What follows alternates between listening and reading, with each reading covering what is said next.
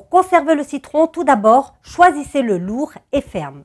Son écorce doit être d'un jaune éclatant et lustré. Évitez les citrons à peau trop rugueuse car ils contiennent en général moins de chair, donc moins de jus.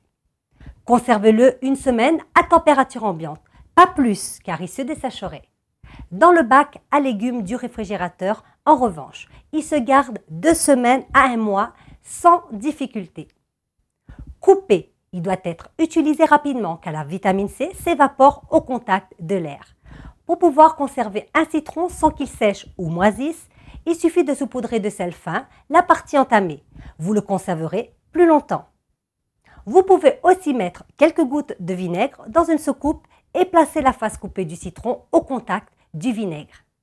Pour conserver plus longtemps un citron entier, vous pouvez le placer dans un bocal, un pot de confiture par exemple, et le recouvrir de gros sel. À très bientôt